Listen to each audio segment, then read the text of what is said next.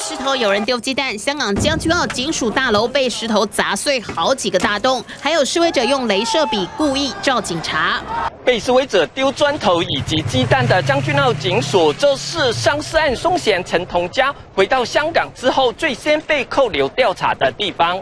除了将军澳外，西环也有示威者晚间沿着揭迷地城的海旁道前进中联办大楼。不过，原本在中联办严阵以待的警方，却突然释放催泪瓦斯驱离民众。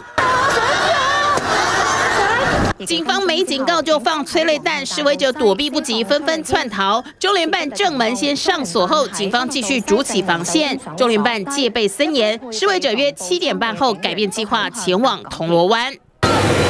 大批示威者接着到了铜锣湾的崇光百货前，继续占领马路，交警只好指挥巴士掉头。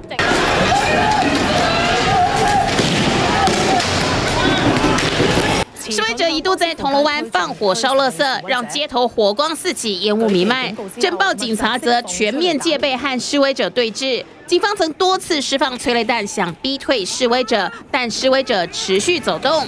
从将军澳到铜锣湾，香港到处都是示威和对峙。五号还会出现全港大罢工。